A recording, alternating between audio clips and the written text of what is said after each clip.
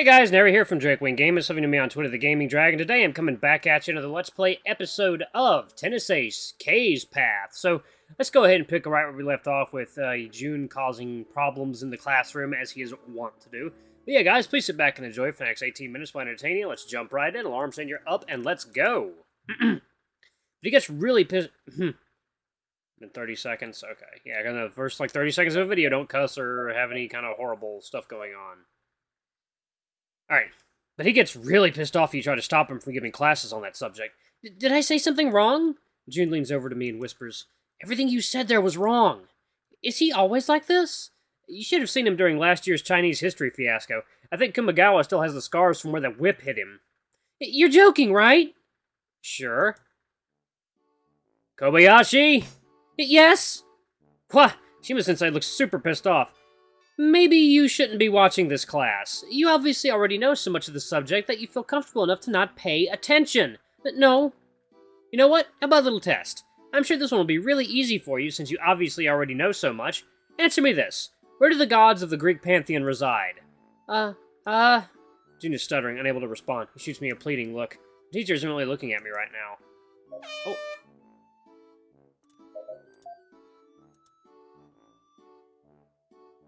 Oh. Okay. Yeah, I did it. Shima-sensei face goes slack, staring at the tiger with a look of complete shock. Then he, then he cracks a content smile, seemingly incredibly pleased at this turn of events. What a pleasant surprise. I suppose there is hope for you after all. Thank you. Shima-sensei makes a small reverence to Jun and restarts his lecture. And thank you. You're welcome. Alright, but that still doesn't mean you get away with not paying attention. Cut the chatter, you two. Yes, sir. Yes, sir. Thank God, it's already lunch break. Sheesh, spacing out like that is not okay. I should try being a little more attentive from now on. Nah.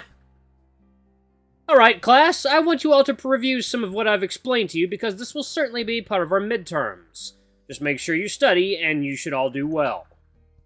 Shima-sensei walks out of the class as the students start getting up. Some people start leaving the class whilst others just sit and chat, bringing out their lunch boxes. We're finally able to have a. We're finally back to having a cool, relaxed atmosphere. Hey, Yuichi-san, mind if we eat together? You seriously don't need to ask that every time. Sure, take a seat. I think Saya and Shuichi should arrive in a bit. As if they were on cue, the door to our class was violently opened by a super high-strung Saya as she and Shuichi walk inside. Yo! Yo! Ah, I survived! Saya plops herself down on a chair without bothering to say anything else, immediately slouching on our desk. Rough day? Saya nods, her head buried in her arms. As Shuichi pulls up a chair to sit down, she lets out a guttural groan. Really? Really rough day, then. Saya looks up at us with sadness. I was late to class this morning and Katsuragi, and Katsuragi-sensei chewed me out. She forced me to stand outside of class holding two buckets full of water. Who even does that anyway? What is this, a shonen manga? Well, she is very old-fashioned, so I'm not really surprised. But what happened today? You tend to always be on time. That's, like, the only good thing about you. Watch it, Arata! Saya leers at Shuichi, making him grin. it seems this is exactly the reaction he was hoping to get out of her. I got into some trouble on my way to school and got held up. Where? In in the police station. You got held up at a police station and the first thing you mentioned was being late to class? I don't want to remember it, okay? Saya buries her face in her arms again and groans another time. By this point, Saya has already been so loud that everyone in the surrounding air, surrounding seats is staring at us. Class rep walks up to us to check on the source of the commotion. Hey, Saya-chan, uh, boy troubles? I can get Kyoko if you want. She smiles warmly at Saya, who merely looks up with downcast eyes. No, no, I wish it were boy troubles. Mizuguchi-san got in trouble with the police. She nearly jumps up from her seat. Hey, Kobayashi-kun! What? Jun seems to be completely oblivious to what just happened.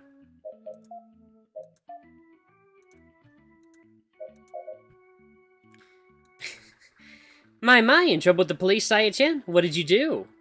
The class rep was all that bothered by it. She didn't show the smallest trace of it. Instead, her eyes betrayed nothing. Ugh, foxes. I can never read them. It's stupid. I, I might have broken someone's phone. Wow. Even Shuichi's taken aback by her sudden confession. My, my, it's very violent, even for you, Saya-chan. Yeah, well, it was a misunderstanding. Care to... care to walk us through what happened? Well... Saya glances over towards us, as if expecting for one of us to interject and change the subject. When none of us does, she sighs. I took the train to school like I usually do every morning. I ended up sitting in front of a boy from another school and an old man. I was just minding my business, listening to some music on my phone when I thought I heard the sound of a camera. I looked around and saw him holding up his phone. I thought he was taking pictures of me and... Wait, wait, wait. Who did you see holding up the phone, the boy or the old guy? What difference does it make? Well, if it was a kid taking picture of you, the best you could do is ask for his school, ask for his school to take disciplinary action. If it was an adult, on the other hand, you could file charges against. Saya seems to ponder on this for a few seconds before sighing once more. Well, none of it matters anyway. I took the phone out of his hand and smashed it on the floor. He got really pissed. Wait, who got really... The boy! Jun cowers in his chair. Saya clears her throat. Anyway, he called the police once we stopped at the next station, and we got taken to the police department where they questioned me about it. I explained what happened, and they called my mother, saying I couldn't just destroy personal property willy-nilly. Wow, and they didn't say anything about Tim taking pictures of you? Well... I have a bad feeling about this. Turns out he wasn't taking pictures of me. His phone didn't even have a camera. I knew it.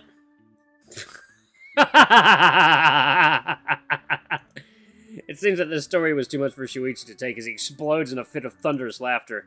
Jun and class rep both pat her on the back, trying to reassure her. That was an honest mistake, Saya-chan. Just tr try not to jump to conclusions next time. I had to give him a new phone. My mom was pissed. She'll take my next paycheck to cover the cost of the phone as punishment. It's not fair. My paycheck is twice the price of that shitty phone. You seem to care more about your paycheck than you do his phone. Well, why should I have to buy him a new phone? Because you broke his. That's his fault for taking pictures of me. Except he didn't. Ah! Jun gives Saya a short pat on the shoulder. Well, I guess nothing terribly bad happened then. If you'll excuse me, Kyoko is giving me the evil eye for ditching her to come over. See ya. Thank you, Aya-chan. Ayako nods, smiling. She wasn't kidding. Kyoko really is glaring at us. The girl can be really scary when she's annoyed. Sometimes I wish I had a female best friend. Saya sighs, resting her chin on her hand and pouting. So do I. Before I have time to react, Saya reaches into my lunchbox, grabbing a piece of meat and throwing it at Shuichi, who ducks out of the way. My tuna! Saya reaches towards my lunchbox again, but I quickly snatch it away, holding it up in the air away from her. Jun then gets up and steals a piece from it. Thanks! Hey! Hey, don't you know it's disrespectful to waste food like this? Junichiro's towering figure appears behind Saya and scolds her. Sorry. Saya glares at Shuichi, who's on the edge of falling to the floor in a fit of laughter. And leave my food alone, for crying out loud!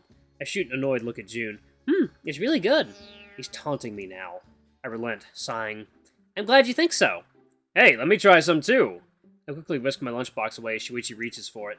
Relax, I'm just kidding. Hey, by the way, Jun points his chopsticks at us, with his mouth so comically full of food that I can see his cheeks bulging. He takes a few long bites before swallowing. Did you guys see how they announced a new game for the Monster Tamer series? It's been over three years since the last one. Oh yeah, I'm a pretty big fan of that series. Yuichi hates it, though. Huh? Well, why would you hate Manta? Gee, thanks a lot, Shuichi. That dinosaur pushed me out of the mountain, okay? Dinosaur? Dinosaur? There are no dinosaurs in Monster Tamer.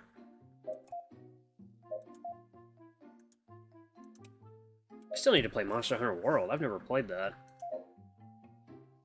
I think he's talking about the EBM Slithoros. He looks like a dinosaur. I jump from my chair in surprise. Ryoji walks up to us, still absent-mindedly eating his sandwich. Oh yeah, that one. I've never successfully hunted him before. Saya leans over to Jun. What's an EBM? Jun opens his mouth to answer, but is quickly cut off by Kumagawa, who is now st staring intently at Saya. It stands for... It stands for Elite Boss Monster, are the main objectives in the Monster Tamer. You have to find them and study them and discover what they do and don't what they do and don't like so you can successfully tame them. Something us tamers affectionately call hunting. Yeah, that. I'm surprised you know all about this stuff, Junkun. I've never seen you carrying a portable a portable around. I used to I used to borrow my former roommate's console. It's one of the reasons I'm so sad about the new announcement too. The new game is only for home consoles, so I can't easily borrow someone else's.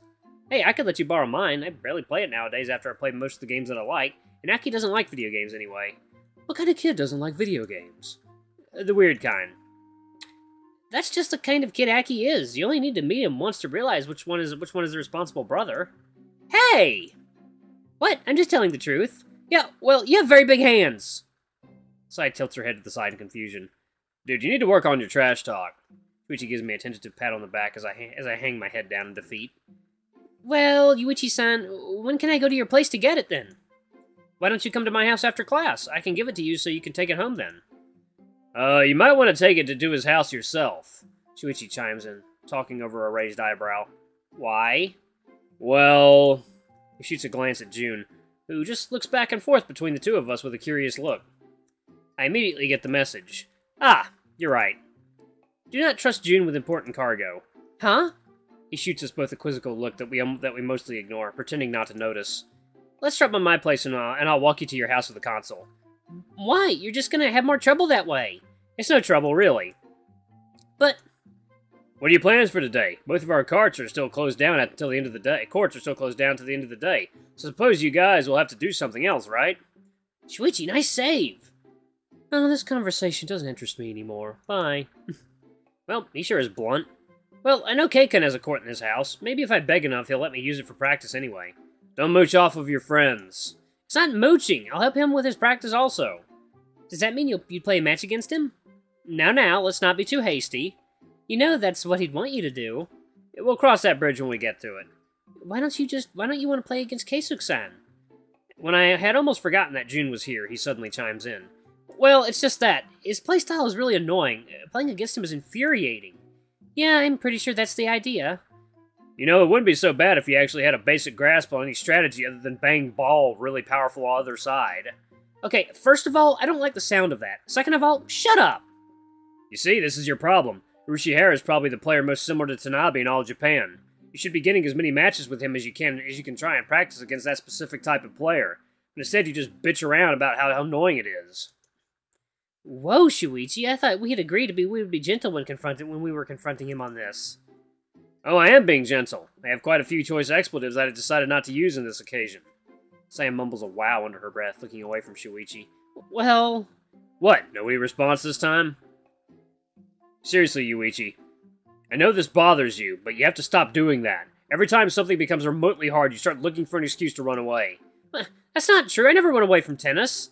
No, instead you just quit the high-profile club you used to practice in, rejected all the private coaching offers you received, cut ties with all your sponsors, and won't accept any requests from other high-ranking players to, to practice.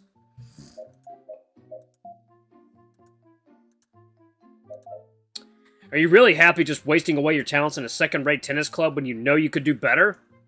Hey! Oh, shut up, it's true! Saya grumbles something under her breath, but the only word but the only word of it I managed to catch is a curse word that I'm not too comfortable repeating. How long have you felt this way? For a long time already. Ever since you fell to the number two ranking and started doing this crap. Instead of doing your best to catch up, you're just lagging behind and letting other other rivals catch up to you. You used to be untouchable, Japan's rising star, the biggest hope for Japanese tennis. Then you lose a couple times to a really tough tough rival and decide to shut yourself off? Look, I'm sorry if I'm being curt with you, but I've been holding a lot a lot of this in for a while. I've tried being patient with you, hoping you'd find your way again, but you just keep repeating the same bullshit over and over again. I thought after that conversation we had a few weeks ago that you'd finally managed to start to change. I thought you were getting here after Murasaki showed up to practice with you, and you're here making excuses again. Look around the table. Saya's face, Saya's face is contorted in a complicated expression. Jun is a million miles away, looking off into the distance, perturbed by our sudden argument. Do you think so too?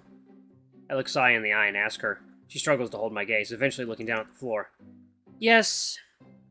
Coach has been trying to... Coach and I have been trying to motivate you since you first joined the school. We thought getting Murasaki and a few other low-ranking pros here over here would help you motivate you, but it seemed to have. You improved a lot in that week that he's been here. It's been years since I've seen you playing that way, but then as soon as they were gone, you just started doing the same thing again. So you knew Coach was going to do that. You planned it with him, and you pretended to be surprised by it. Yeah, kinda. I see. I put the lid back on my lunchbox and get up from the desk. Yuichi, wait! I just want to be alone right now, okay? I turn around and leave the classroom. No one follows me. The warm spring air is comfortable. A quiet breeze ruffles through my fur every now and again. I'm just sitting on the floor, looking up at the clouds as they pass by. Even though the sky is so clear, my mood right now is tempestuous. The sound of the door wakes me up from my daze. I guess I've been lost in the thought for a while. This can't be a teacher. The lunch break ended a few minutes ago. Everyone should be in their classes right now. Shuichi then? I hear the sound of footsteps. No, it can't be Shuichi. He, he doesn't like to hide behind the vent. He'd have come straight here. Whoever it is, this person is wandering around as if looking for something. Ah! I instantly recognize that voice. I look to my side and I see Jun looking over at me with worry. He freezes in his spot for a couple seconds before finally taking a few slow steps towards me. What are you doing here? You should be in a class. I look away. Yeah, well, so should you. Jun sits down on the floor next to me, turning to look at the sky as I am doing. I don't really feel like going to class right now. I, get the feeling that I just space out for the rest of the day. We sit in silence for a couple of minutes. I glance at Jun's profile every now and then, and see him with a complicated look on his face, struggling to find words. Eventually, he manages to find them. I, I don't really know what has been going on. I haven't known you guys that long. I get the feeling that that's not the kind of discussion you should have in front of an outsider like me. You're not an. but I am. But that's not what I came here to talk to you about. Jun sighs, staring at his feet with pursed lips. I don't even know what I want to talk to you about. I didn't really think this through. I just got the feeling that I needed to say something. I thought maybe you'd come to me when you'd come to me when I saw you. Look at me. I'm rambling. Mm, sorry, Junkun. I'm not in a very good mood right now. Could you get to the point? Hey, I don't really understand the, the argument you guys were having, but it seems serious. I guess I guess it just doesn't sit well with me. I can sort of understand. They basically said you you haven't been working your best lately, and I can see how that would be upsetting, but is it really that bad? I look over at Jun again, expecting to see a contemptuous look on his face. Instead, all I see is curiosity and worry. Damn it, he's too pure. I don't really talk about it much nowadays.